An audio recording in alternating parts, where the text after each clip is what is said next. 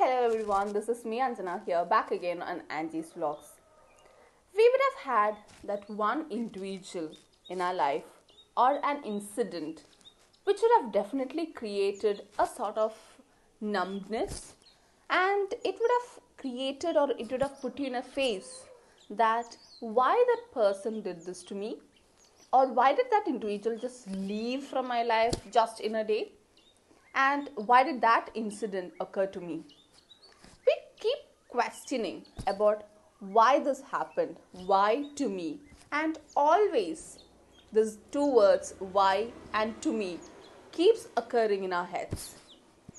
We always understand or we always feel after that particular incident that you know life is going to be different and not many people are going to stick around you all the time. Sometimes we see that the people that you were very close to when it can be a friendship or a relationship due to some reasons they just do the worst things to you or they might might make you feel that you're not worth it and they just leave. Here the problem is they do not give you a closure a closure to the chapter. And then we start digging in ourselves what went wrong what happened between us and why is that we are at this particular state. And one of the major problems in these kind of incidents is that once such a problem happens in your life once you fall out once you have a relationship breakdown or once you lose your friendship with someone just just in a moment we keep doubting ourselves. We keep doubting the other friendship that you're going to have the other relationship that you're going to have. You will keep questioning why is this like this? Will is, is this relationship going to be the same way that i had before? Is this person going to behave the same person the same way the other person behaved to me? The questions are going to be plenty. When you discuss the same with someone you're close to, they're going to tell you ultimately that it's life, don't worry, don't go behind seeking closure because you know life just happens to you that that way. There will be lots of advices. And I'm sure that some of us will have will end up in a situation that not you know we can seek uh, closure from everyone at every point of your life.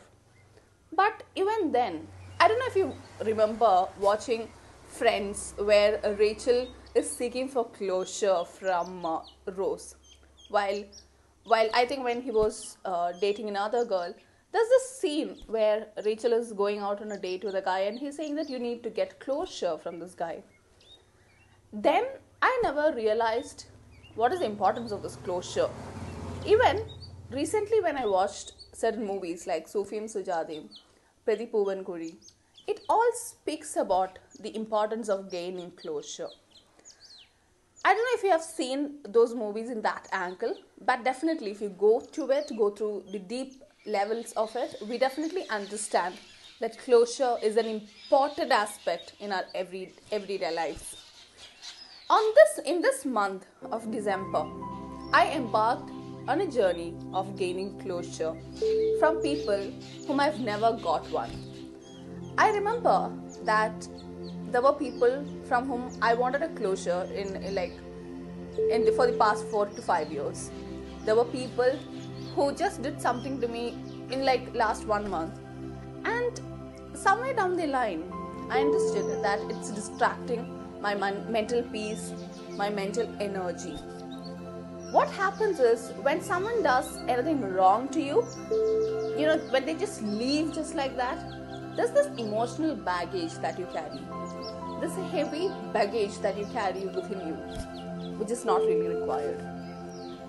I had this one person with whom I had a big hatred, or, or with, with someone whom I had beautiful memories, but even then i had this emotional baggage of why did this person do such things to me why did that person just leave you know we had great friendship. We had very good solid relationship. But the problem is at the end of the day we feel very tough when they do something worse to you. And you don't know you have no clue regarding what went wrong. Here the initiative of creating that space within you, that initiative has to come from you, from within yourself.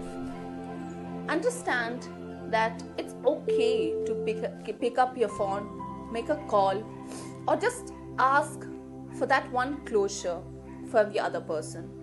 It might take time, it might take years, it might take, you know, long time to ask that person or to gain that courage to ask the other individual, like, what happened? Why did you do this to me? But at the end of the day, when you take that initiative, regardless of the advices that you get, like, I, you know, it, it just happens, don't worry. Like, there will be lots of advices like that. But the moment you gain that sort of courage, I mean, it, it just takes that that initiative from your side to ask the other person we might have this shame we might have this problem that you know what's this other person going to think he just left me he just you know he she just did this to me. Why should i ask for it? Am i not shameless?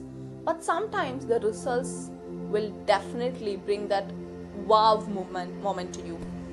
You will be at ease maybe after a couple of months or after a few years. When you ask them why did you do that to me? there will be better answers.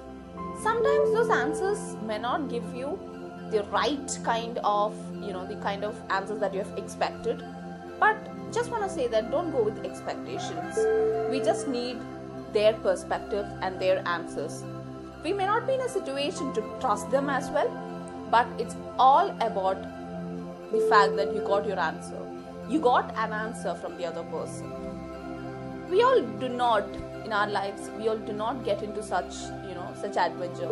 But when I did this during the last month, during this month, what I felt was right from a small problem to the bigger problems that I've had with people. When I asked them, why did you do that? Or why this happened between us? After I gained a sort of answers, it made my heart really better.